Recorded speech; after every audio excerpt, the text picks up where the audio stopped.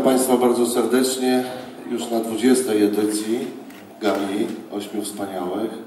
To już 20 lat w naszym mieście.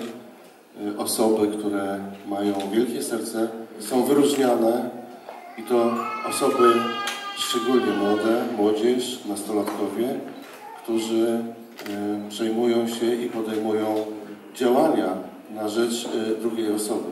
Chcę przede wszystkim dzisiaj serdecznie podziękować. Y, Podziękować wszystkim ośmiu wspaniałym za ich wielkie serce, za to, że widzą potrzeby innych.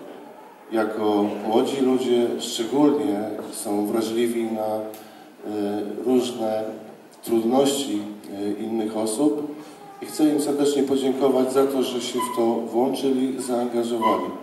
Chcę podziękować rodzicom i nauczycielom za to, że wspieracie ich i pomagacie, bo te działania, które są podejmowane, myślę, że też potrzebują wsparcia ze strony nauczycieli i ze strony y, rodziców.